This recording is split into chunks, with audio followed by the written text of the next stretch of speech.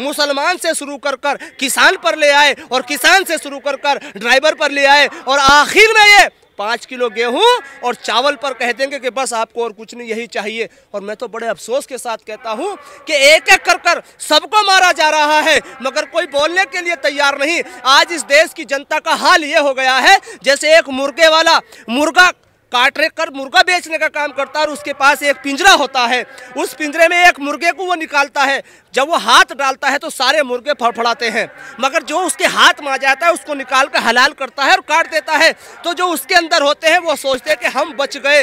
वो स्कूटर चलाने वाला हो, मोटरसाइकिल चलाने वाला हो, बस चलाने वाला हो, फोर व्हीलर चलाने वाला हो, ट्रक चलाने वाला हो, चाहे वो कोई सा भी वाहन चलाने वाला हो, ये सब के लिए लागू होगा। ट्रक वालों के लिए नहीं होने का। मामला ट्रकों का नहीं है। हमारे इस देश के लोग समझ नहीं पा रहे कि हो क्या रहा है। इस देश के लोग ये समझ रहे हैं कि मेरी दीवार गिर गई, कोई नुकसान नहीं, पड़ोसी का बकरा तो मर गया। ये हाल हमारे समाज के, हमारे देश के लोगों का हो रहा है। इंसान होता है, वो एक कीली को भी नहीं मारता, वो खुद चोट खा लेता है। अगर ये कानून रहा तो इस कानून से बहुत बड़ा नुकसान होएगा। और ये हक की आवाज़ है। मांगे से भीख मिलती है छीनने से इंसाफ मिलता है। किसानों ने इंसाफ छीनने के लिए अपना धरना दिया। तो यहाँ जो सर समाज ड्राइवरी लाइन का है, वो किसी भी समाज का, उसको भी ये काम करना पड़ेगा। एनआरसी लगाई, मुसलमानों की समझ में आई गलत है। किसानों का कानून लाया, किसानों की समझ में आया गलत है। आज ड्राइवरों का कानून लाया, उनकी समझ में आ रहा है, ये गलत है। तो कौन बरकरार रहा है? जहाँ तमाम धरने प्रदर्शन चल रहे हमारे किसी नेता का बयान आया है।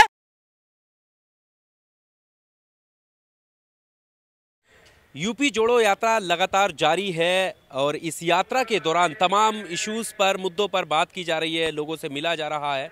और इसी बीच कई अहम मुद्दे हैं जिसमें सबसे ताज़ा मुद्दा जो है, वो ट्रक ड्राइवर वाला है। इसको लेकर हड़ताल भी की जा रही है और तमाम जो है ट्रक ड्राइवर हड़ताल पर जाकर ये कह रहे हैं कि किस तरह से उनका गला घोटने का काम किया जा रहा है।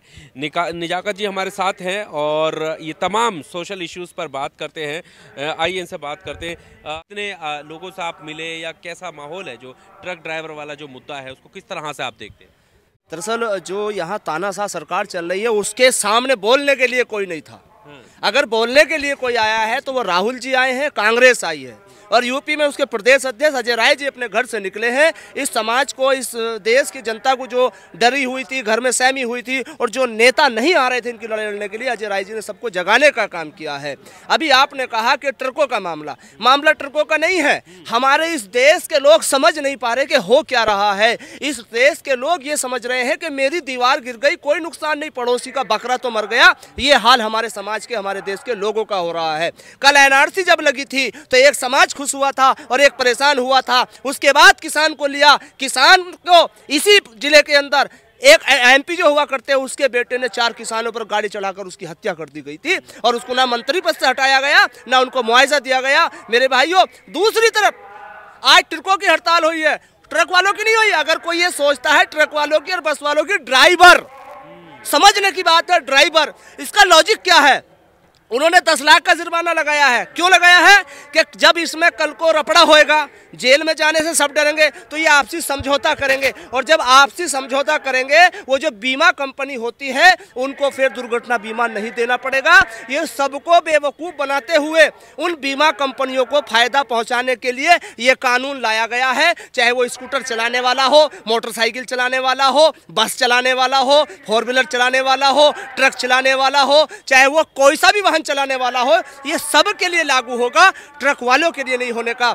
मुसलमान से शुरू कर कर किसान पर ले आए और किसान से शुरू कर कर ड्राइवर पर ले आए और आखिर में ये पाँच किलो गेहूँ और चावल पर कह देंगे कि बस आपको और कुछ नहीं, यही चाहिए। और मैं तो बड़े अफसोस के साथ कहता हूँ कि एक एक कर कर सबको मारा जा रहा है, मगर कोई बोलने के लिए तैयार नहीं। आज इस देश की जनता का हाल ये हो गया है, जैसे एक मुर्गे वाला मुर्गा काट कर मुर्गा बेचने का काम करता है और उसके पास एक पिंजरा होता है। उस पिंजरे में एक मुर्गे को वो निकालता है। जब वो हाथ डालता है तो सारे मुर्गे फड़फड़ाते हैं। मगर जो उसके हाथ में आ जाता है, उसको निकाल कर हलाल करता है और काट देता है।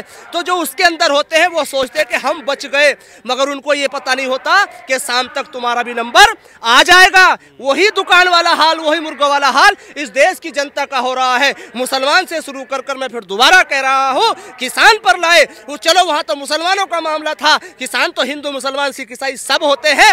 वहाँ इन्होंने किसानों की ज़मीन को टाटा, अडानी और अंबानी को देने का काम कर रहे थे। वो तो अच्छा हुआ कि मेरे किसान सारी बातों को भूलकर सड़कों पर उतरे। अब इन्होंने ये कानून लाया है और ये कानून सिर्फ़ और सिर्फ़ सारे कानून उद्योगपतियों को फ़ायदा पहुँचाने के लिए है। ना किसी हिंदू को, ना किसी मुसलमान को, ना किसी सिख को, ना किसी ईसाई को फ़ायदा पहुँचाने के लिए नहीं है। पर ये जिस तरह से किसानों के लिए कानून लाया तो तेरह महीने किसानों को दिल्ली के बॉर्डर पर बैठना पड़ा, उसके बाद जाकर कहीं प्रधानमंत्री तक उनकी आवाज़ पहुँची। अब क्या लगता है, हालाँकि पहला दिन कल था, आज दूसरा दिन है, और ड्राइवर जो हैं, वो हड़ताल की तरफ़ है। तो क्या लगता है कि लड़ाई लंबी है, या इस पर लड़ा जाएगा, या फिर ठीक है, कानून मान लिए जाएँगे? देखिए, कानून तो मानना नहीं चाहिए, क्योंकि वो सबके सम्मान का, सबके आने वाले परेशानियों का मामला है। मैं मानता हूँ कुछ लोग कहते हैं कि ड्राइवर जानबूझ के एक्सीडेंट करते हैं। मगर मैं ये कहता हूँ, जो इंसान होता है, वो एक कीली को भी नहीं मारता, वो खुद चोट खा लेता है। अगर ये कानून रहा तो इस कानून से बहुत बड़ा नुकसान होएगा, और ये हक की आवाज़ है। मांगे से भीख मिलती है छीनने से इंसाफ मिलता है। किसानों ने इंसाफ छीनने के लिए अपना धरना दिया। तो यहाँ जो सर समाज ड्राइवरी लाइन का है, वो किसी भी समाज का, उसको भी ये काम करना पड़ेगा। कोई पार्टी उनके लिए बोलने वाली नहीं है। अगर कोई बोलेगी तो वो कांग्रेस बोल रही है। कल भी हमारे प्रदेश अध्यक्ष जी ने कहा है और आज भी कहा है। और प्रदेश अध्यक्ष जी कह रहे हैं कि हम अगर बड़ा आंदोलन भी करना पड़ा तो हम करेंगे। क्योंकि कांग्रेस पार्टी ना हिंदू की है, ना मुसलमान की, ना सिख की, ना ईसाई की। कांग्रेस पार्टी हिंदुस्तान की है। कांग्रेस पार्टी ही सबका भला चाहती है। कांग्रेस कांग्रेस पार्टी सभी धर्मों का सभी जातियों का सभी इंसानों का सम्मान करती है। कांग्रेस ही पार्टी देश को खुशहाली की ओर ले जाती है। सारे लोग पेट की बात करते हैं और कांग्रेस पार्टी देश की बात करती है। बाकी कोई और देश की बात नहीं करता है। पर जिस तरीके से आप कह रहे हैं कि हम लोग मुद्दा उठाएँगे तो सबसे बड़ा सवाल तो यही है कि किसान आंदोलन में भी या बाकी आंदोलन जब भी हुए तो कहते हैं कि बरगलाने का काम करते हैं। ये जो है भटकाने का काम करते हैं। फिर आप पर ये आरोप लगेंगे। देखिए उनका काम है आरोप लगाना। जनता नादान नहीं है। एनआरसी लगाई मुसलमानों की समझ में आई गलत है। किसानों का कानून लाया, किसानों की समझ में आया गलत है। आज ड्राइवरों का कानून लाया उनकी समझ में आ रहा है, ये गलत है। तो कौन बरकर आ रहा है? जहाँ तमाम धरने प्रदर्शन चल रहे हैं, हमारे किसी नेता का बयान आया है, हमारी किसी नेता ने अगुवाई की है नहीं। जनता बेवकूफ़ नहीं है। जनता जानती हमारे साथ क्या गलत, क्या सही हो रहा है, मगर अभी तक कोई आगे निकल कर नहीं आ रहा था कि जनता किसके पीछे चले। तो वही देश को बचाने वाली पार्टी, वही देश को बढ़ाने वाली पार्टी, राहुल गांधी जी ने भारत जोड़ो यात्रा चलाई थी, और अब यहाँ यूपी जोड़ो, मान्य प्रदेश अध्यक्ष अजय राय जी चला रहे हैं। तो जनता का विश्वास जगा है और जनता का नेतृत्व करने के लिए प्रदेश में अजय राय जी और पूरे भारत के अंदर राहुल गांधी जी निकल चुके हैं। 14 जनवरी से मणिपुर से महाराष्ट्र तक यात्रा न्याय यात्रा निकल रही है। अब लोग अपनी ताकत को पहचानेंगे और नेतृत्व करने के लिए राहुल जी निकल गए हैं। अब कोई बैठने वाला घर नहीं है। पर दिन रात जिस तरीके subscribe now and press the bell icon never miss an update